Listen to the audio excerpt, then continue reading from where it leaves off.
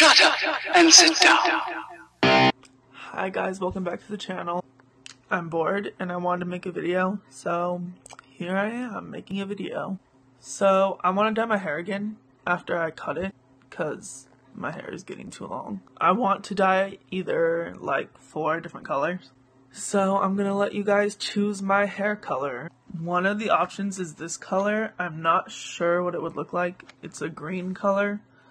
So, um, I'm just gonna put a picture of what I guess it would look like. Yeah, so I assume that's probably what it would look like. Uh, the next option is black. I've had black hair before and I like having black hair, but I don't know if it would look good if it was like short black hair.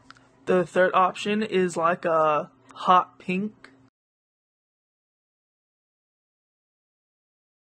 Pink is the only color I haven't dyed my hair, so uh, I want to dye it that sometime. And then the last option is purple. Uh, I've had my hair purple before and it looked really good, so that's why I want to have it again. Anyways, so comment below and uh, I'll do whichever one has the most comments.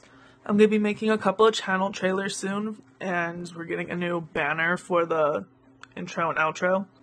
So stay tuned for that and stuff, and yeah, hope you like this really short video. Alright guys, thanks for watching, bye.